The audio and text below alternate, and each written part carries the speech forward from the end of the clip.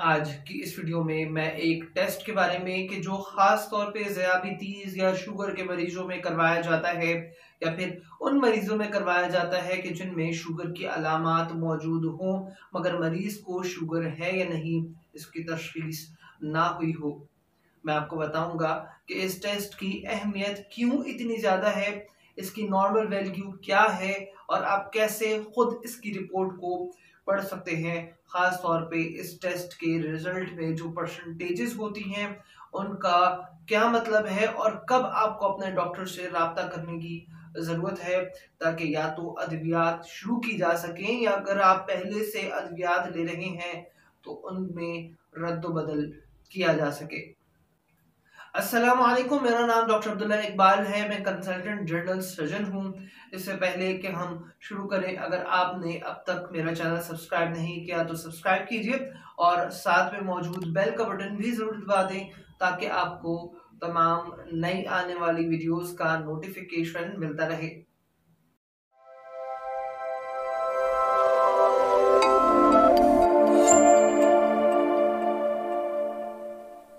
ज़ियाबतीस के मरीजों में शुगर को चेक करने के लिए जो टेस्ट आमतौर पे किया जाता है, वो खाली पेट किया जा सकता है, जिस सूरत में इसे फास्टिंग ब्लड शुगर कहा जाता है, या फिर ये टेस्ट खाने के दो घंटे के बाद करवाया जा सकता है, जिस सूरत में इसको रैंडम ब्लड शुगर टेस्ट कहा जाता है। ये फास्टिंग और random blood sugar test venous sample के ज़रिए लैब में ब्लड दे के करवाया जा सकता है या फिर यह टेस्ट कैपिलरी ब्लड को इस्तेमाल करते हुए घर पे मशीन के ज़रिए किया जा सकता है। अमूमन शुगर के मरीज़ इस तजब्जुब का शिकार रहते हैं कि उनमें से कौन सा बेहतर है जिसके बारे में आपको बताता चलूँ कि दोनों तरीकों का रिज़ल्ट में थोड़ा सा फ़र्क आता है और घर पे किए जाने वाले टेस्ट में तकरीबन पाँच से ten milligram per decilitre sugar ज़्यादा आ सकती है। इन दो टेस्ट के अलावा एक तीसरा टेस्ट भी है, जो कि बहुत अहमियत का हामिल है, जिसे हम H B A one C कहते हैं। रैंडम और फास्टिंग ब्लड शुगर की नस्बत ये टेस्ट दिन के किसी भी औकात में करवाया जा सकता है, और इसके लिए खाली पेट या फिर खाने के दो घंटे के बाद टेस्ट कराने की कोई शर्त नहीं है। दूसरा ये कि फास्टिंग ब्लड शुगर या random blood sugar spot sugar level बताते हैं कि इस दिन या इस वक्त खून में शुगर की मकदार कितनी ज़्यादा या कितनी कम है, जो यकीनी तौर पे आपके डाइट से चेंज होती रहती है। यानी मिसाल के तौर पे अगर आपने मीठा खाया है और इसके दो घंटे के बाद आप शुगर चेक करते हैं तो शुगर ज़्यादा आएगी और अगर आपने कुछ मीठा नहीं खाया तो शायद दिन के दूसरे हिस्से में आपकी शुगर नॉर्मल आ जाए। मगर एच बी एवन सी में ऐसा नहीं है, और ये किसी एक वक्त में कुछ मीठा लेने से तेज़ी से बढ़ता या घटता नहीं है। इस टेस्ट की ज़्यादा अहमियत इसलिए भी है क्योंकि ये टेस्ट जिसम में पिछले तीन माह के अंदर एवरेज शुगर जो आपके खून में मौजूद रही है, उसकी मकदार के बारे में बताता है। इसकी टेक्निकल तफसील के बारे में बात करें तो H B A one C दो चीज़ों का मुखफ़ है, जिसमें एच बी माने हैं खून का वो हिस्सा जिसे हीमोग्लोबिन कहा जाता है, जिसका काम ऑक्सीजन की ट्रांसपोर्ट होता है, जबकि ए वन सी चेन है जो हीमोग्लोबिन से अटैच होती है और इसका काम शुगर के बारे में बताना है। तो तीन महीने में कितनी ज़्यादा शुगर आपके हीमोग्लोबिन से आके अटैच हुई है, ये मुनहसर है कि आपके खून में कितनी ज़्यादा शुगर रही है।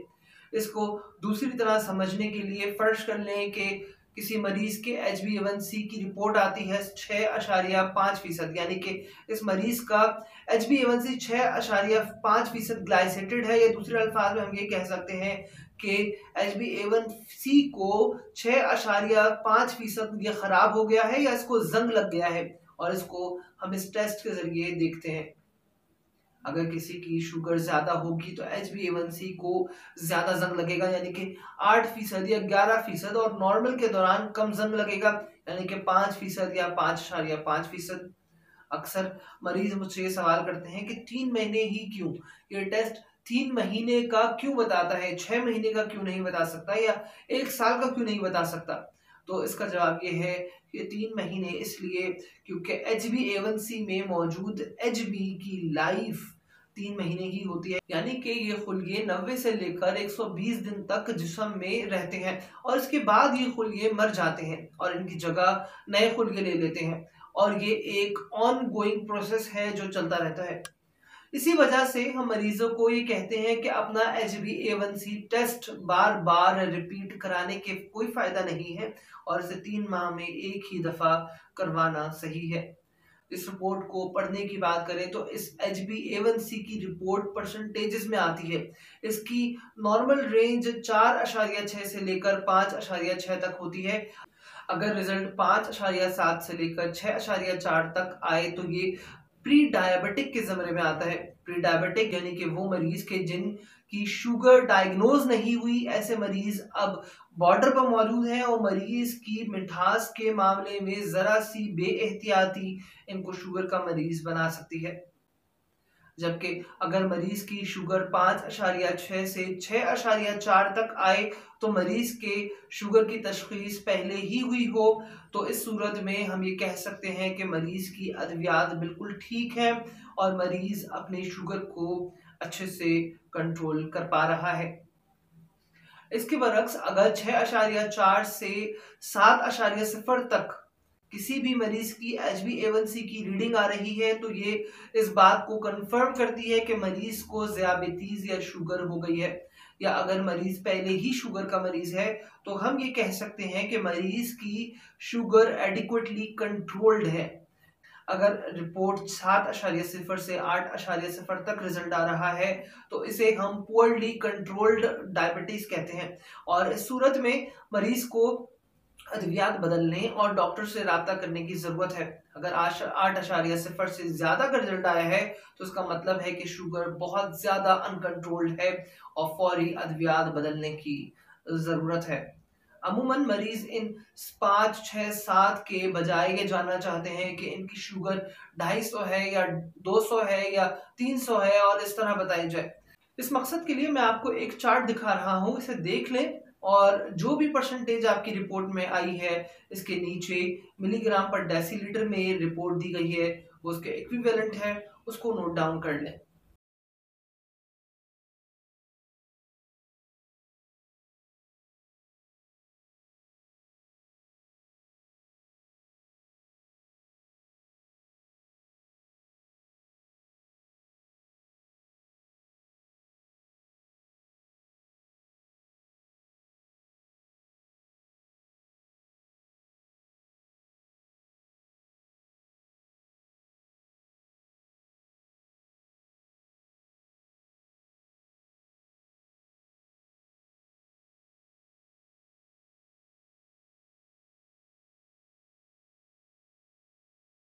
मुझे उम्मीद है कि आपको आज की वीडियो ज़रूर पसंद आई होगी। अगर आपका ज़्याबतीस या शुगर के हवाले से कोई सवाल है या आप किसी बीमारी के बारे में कुछ पूछना चाहते हैं या फिर अगर आप H B A one C की रिपोर्ट दिखाना चाहते हैं या ज़्याबतीस की अद्वियात के मुतलक मशवरा करना चाहते हैं तो आप मुझसे व्हाट्सएप के ज़रिए अपॉइंटमेंट लेके रबता कर सकते हैं। मेरा कॉन्टेक्ट नंबर है zero three two one two three six three six double one आज के लिए इतना ही। मैं डॉक्टर अब्दुल्ला इकबाल अल्लाह हाफिज़।